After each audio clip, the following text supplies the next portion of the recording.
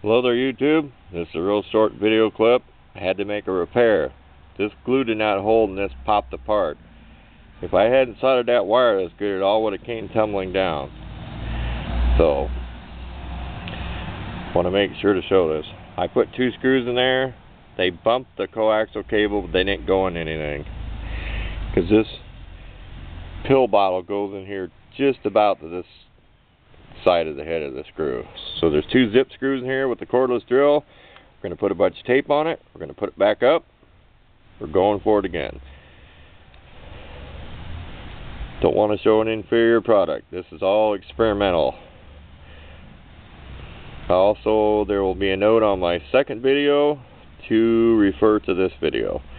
But I should have thought that glue did not hold. It's not good enough glue. If it would have been like a epoxy or something, it probably would have welded together better. But there's the fix. The screws went in here. They did touch the coax, but they're not hurting the center. They just bumped into the outer shield. Kind of pushed it out of the way a little bit. But we're going for it. So